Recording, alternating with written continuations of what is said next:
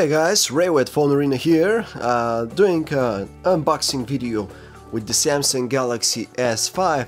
So this is the retail box that the phone comes with and on the bottom of it there are some specs, the storage space, the size of the screen, 16 megapixel camera, LTE, the processor here, it's water and dust resistant, all that kind of good stuff. So let's open the box.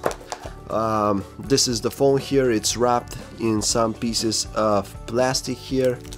Let me remove them for, for you. First I remove this one and then the front one.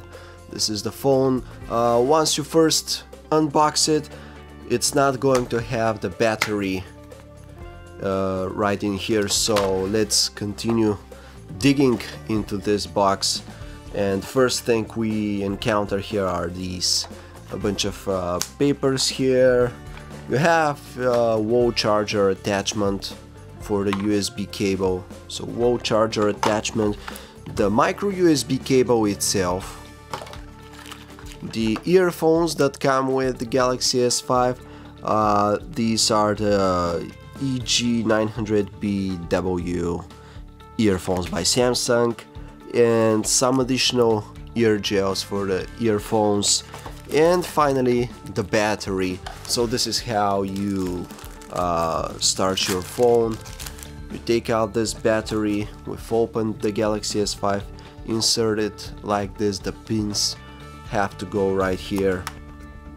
And then we close the phone with this new uh, perforated back cover make sure that all the all the pins here are closed nicely and tightly and then just hold the power key